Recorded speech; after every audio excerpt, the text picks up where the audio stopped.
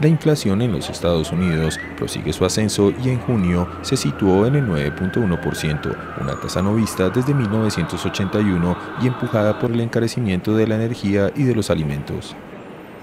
En un mes, los precios de consumo subieron el 1.3% según los datos publicados por la Oficina de Estadísticas Laborales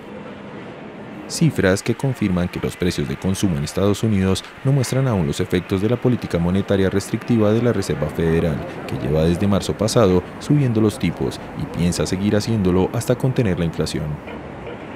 La subida de los precios de la energía y sobre todo de la gasolina, así como de los alimentos, fue una vez más lo que más influyó en esta nueva escalada de la inflación en junio.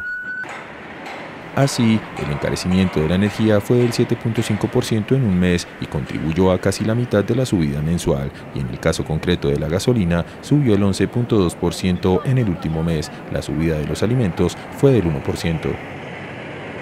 En los últimos 12 meses, los precios de la energía han subido el 41.6%, el encarecimiento más alto desde abril de 1980.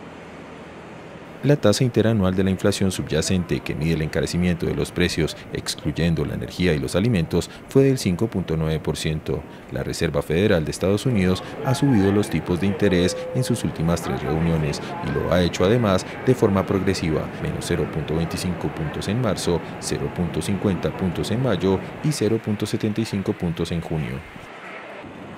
La prioridad para la Reserva Federal es contener los precios y este organismo ya ha dejado claro en varias ocasiones que continuará actuando para cumplir con ese objetivo, aunque su política monetaria restrictiva pueda traer consecuencias negativas sobre la evolución económica.